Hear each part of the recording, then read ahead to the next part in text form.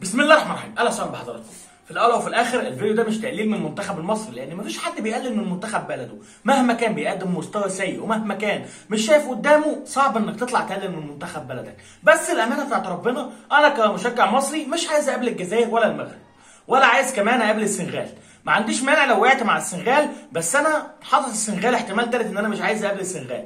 ما عنديش مشكلة خالص إن أنا ألعب منتخب تونس ولا لاعب منتخب نيجيريا لأن منتخب تونس ومنتخب نيجيريا شبهنا. برغم من إن هم تصنيفهم أعلى مننا بس هم على أرض الواقع منتخب تونس مش بيقدم كرة كويسة مع السيد منذر الكبير بالعكس تماما ده هم تايهين أكتر مننا. برغم إن هم عندهم جودة أعلى مننا في اللعيبة بس هم كمنتخب وكفريق جماعي منتخب بيأدي أداء سيء. هتقولي طب ما المنتخب المغربي برضه أفراده عالية بس بيقدموا أداء سيء؟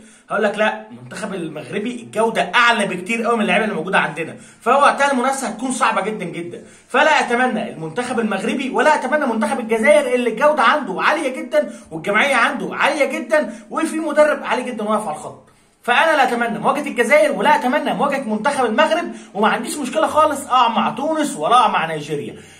السنغال برغم قوته وبرغم الأداء الجماعي الكويس جدا وبرغم تعلق ساديو ماني وبرغم إن الفرقه كلها بتأدي أداء كويس بس هم برضه لسه عندهم سذاجه الافارقه اللي هو أنت ممكن تضحك عليهم. تسيب لهم الكورة أغلب الوقت وتلعب على مرتدة أبو صلاح تخلص الماتش. إنما شمال أفريقيا وشغل المغرب والجزائر علينا إحنا هيبقى صعب. زي ما قلت لك تونس أرشد ما عنديش أي مشكلة.